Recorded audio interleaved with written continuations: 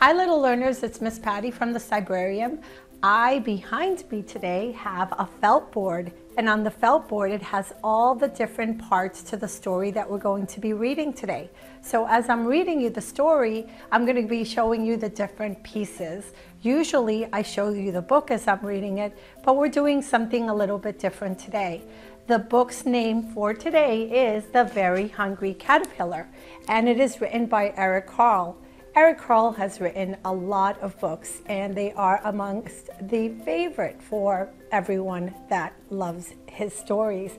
He is very well known for his artwork, and this is one of those books that I can read over and over again and never get tired. So today we're going to go on the adventure that the little caterpillar takes, and something really special happens at the end. So let's enjoy this book together. The Very Hungry Caterpillar by Eric Carle. Published by Putnam Books. Thank you, Putnam Books, for allowing us to read this together. In the light of the moon, a little egg lay on the leaf. On Sunday morning, the warm sun came up and pop, out of the egg came a tiny very hungry caterpillar. He started to look for some food. On Monday, he ate through one apple. On Tuesday, he ate through two pears, but he was still hungry. One, two. On Wednesday, he ate through three plums. One, two, three. But he was still hungry. On Thursday, he ate through four strawberries. One, two, three, four. But he was still hungry. On Friday, he ate through five oranges. But he was still hungry. Let's see if there's five here. One, two, three, four, five. On Saturday, he ate through one piece of chocolate cake, one ice cream cone, one pickle, one slice of Swiss cheese, one slice of salami, one lollipop, one piece of cherry pie, one sausage, one cupcake, so much food, and one watermelon. What do you think happens after you eat all that, all those different foods? That night, he had a stomach ache. The next day was Sunday again. The caterpillar ate through one nice green leaf and after that he felt much better. Now he wasn't uh, hungry anymore, and he wasn't a little caterpillar anymore. He was a big, fat caterpillar. He built a small house called a cocoon around himself. He stayed in for more than two weeks. Then he nibbled a hole in the cocoon and he made his way out and what do you think? What do you think he became? He became a beautiful butterfly. And it just went by. There went. A beautiful butterfly. So the caterpillar was really, really hungry. So he ate all the things that were really good for him. You could see he ate through the apple, and the pears, the plums and the strawberries and the oranges. And he still felt better even though he was still hungry.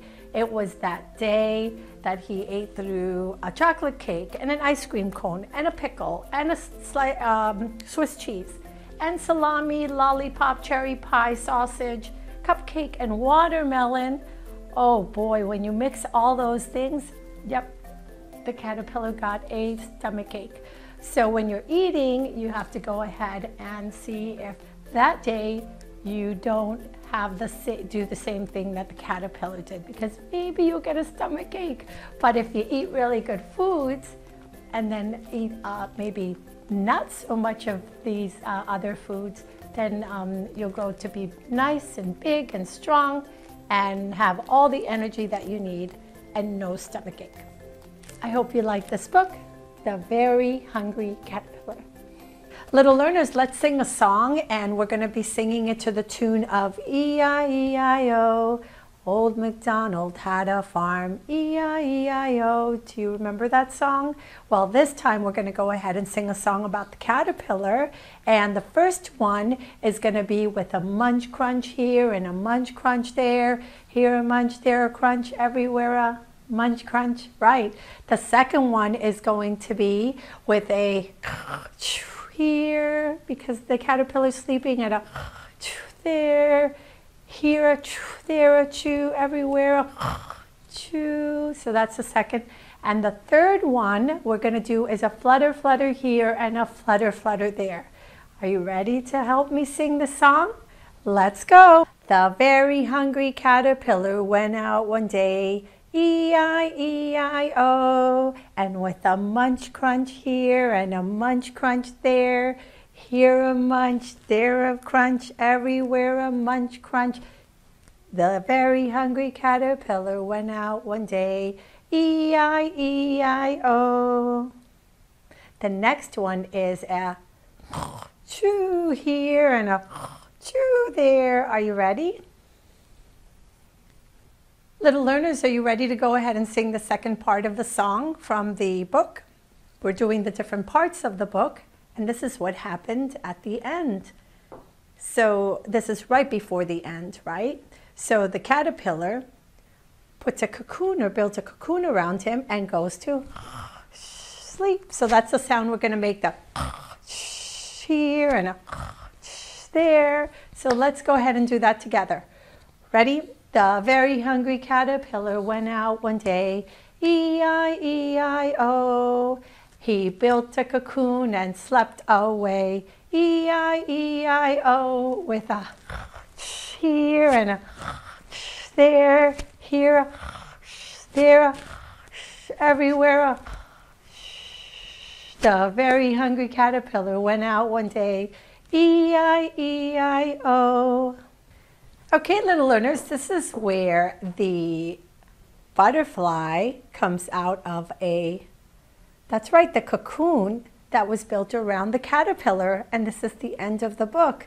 And we're going to go ahead and say, when it's our turn to sing with a flutter, flutter here and a flutter, flutter there, because the butterfly, what does it do? It flutters, right? So let's go ahead and sing together. The very hungry caterpillar woke up one day, E-I-E-I-O, with a flutter, flutter here and a flutter, flutter there. Here a flutter, there a flutter, everywhere a flutter, flutter. The very hungry caterpillar woke up one day. E-I-E-I-O. Good singing with me today. Thank you. Little learners, we're going to go ahead and read a second book about caterpillars this one's titled 10 Little Caterpillars by Bill Martin Jr., illustrated by Lois Ehlert. Published by Beach Lane Books. We want to thank Beach Lane Books for allowing us to read this book together. The first little caterpillar crawled into a bower, a nice shady spot in the garden bed. The second little caterpillar wiggled up a flower. Bower, flower. Does that sound like if it rhymes? Yes, this is a rhyming book. I love rhyming books. The third little caterpillar climbed a cabbage head. See right there? The fourth little caterpillar found a melon bed. Head, bed. Those two words rhyme, and each of the caterpillars are different as you could see. There are so many different ones as we'll see at the end of the book. The fifth little caterpillar sailed a garden pool. Some water with some leaves and it's right on top of a leaf. that looks like fun. The sixth little caterpillar was carried off to school. Pool, school. Two other words that rhyme. And this one is ready to be taken, I think, to show and tell for school, show you all the students. The seventh little caterpillar met a hungry wren. that is that bird right there. The caterpillar's right there looking, they're looking at each other. the eighth little caterpillar was frightened by a hen. Wren hen. Some more rhyming words. The ninth little caterpillar fell into the sea. The tenth little caterpillar scaled an apple tree. See tree. And hung, and hung there patiently. See tree patiently. Some more rhyming words. Until by and by, the tenth little caterpillar became a butterfly, just like in the very hungry caterpillar book that we read by Eric Carle. Yes, the caterpillars turn into butterflies. Did you see how many different types of caterpillars there were? Well, what they did in the back of this book is really interesting. They showed us all the different caterpillars that were in the story and what they turn into. So like this one turned into a butterfly, mourning cloak, the buckeye into a butterfly, the cabbage looper, remember when he was on the cabbage head? into a moth, the yellow bear into a Virginian tiger moth, the yellow-necked caterpillar into a moth. So it, they could turn into either a moth or, that's right, a butterfly. The monarch, of course, into the monarch butterfly. The painted lady into the uh, painted lady butterfly. The woolly bear into an Isabella tiger moth. Common wood nymph into a butterfly. Look at how many different types there are and the tiger swallowtail into a butterfly. Now when you see the caterpillars, you might be able to um, look up what type of caterpillar it is and what it's going to turn into. 10 little caterpillars.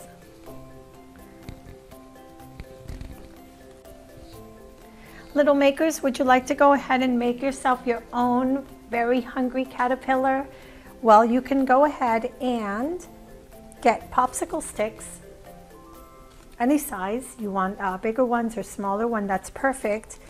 You need glue, some pom-poms, googly eyes, and little magnet strip for the back so that you can go ahead and put it on the refrigerator or maybe somewhere in your room. So you take your popsicle stick, and I was thinking choosing green for the body just like the very hungry caterpillar, and you put glue, put it all along, and then you just go ahead and put them on all the way, making the body. And then what I did is I chose the red for the head part and then the googly eyes. And then I don't want to turn it because I don't want those to fall. I have to let them dry. But what I did is on the other side, I put a little magnet so that I can put it in my roof on my refrigerator. So maybe you'd like to go ahead and do something like that, get creative and make your own caterpillar, whatever colors you would like. There's so many different types, so you can make your very own at home.